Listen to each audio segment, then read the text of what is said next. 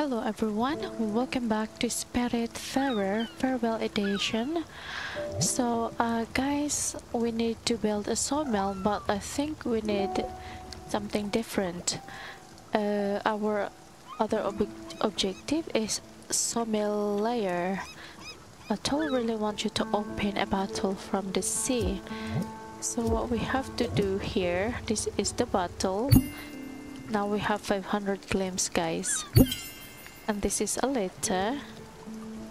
But we can open this one. The Sommelier completed guys. So we did it.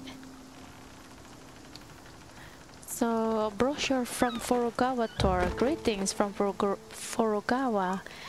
Experience the wonders of the great oak forest and the serenity of the more magnificent rice fields available now in Goreno Fields. Alright guys, thank you very much for watching. Always take care and bye bye. See you our next video guys. Bye.